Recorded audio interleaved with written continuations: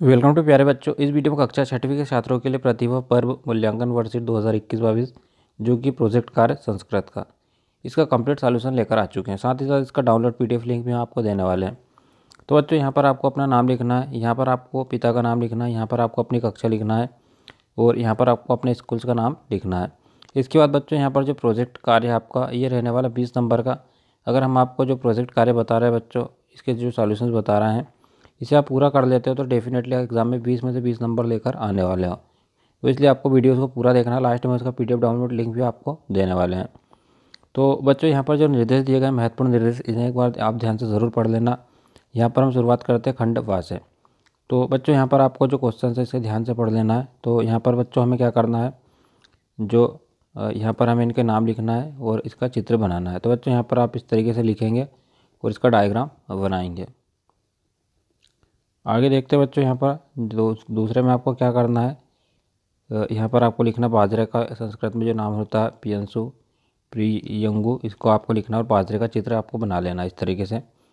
आपको बाजरे का चित्र बनाना है बच्चों फिर धान का यहाँ पर आपको इस तरीके से धान का चित्र बना लेना तो यहाँ पर चित्र आपको ठीक से दिखाई नहीं दे रहा होगा बट आपको इस तरीके से धान का चित्र बना लेना है।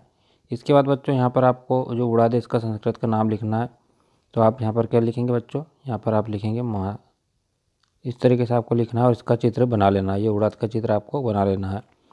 फिर बच्चों यहाँ पर आपको लिखना है जवा तो इसको हम बोलते हैं जो और इसका आपको चित्र इस तरीके से बना लेना है जो कि गेहूँ के आकार की होती है बच्चों यहाँ पर। चावल की जो धान होती है उस टाइप से आपको इसका चित्र बना लेना है। फिर बच्चों आपको यहाँ पर पंच, जो पंछी होते हैं उनके नाम लिखना है और उनका चित्र बनाना है। तो बच्चों हमने पहला लिखा काका तो इसका जो चित्र कौए का, इस तरीके से आपको बनाना और यहाँ पर आपको लिखना है। कहा कहा?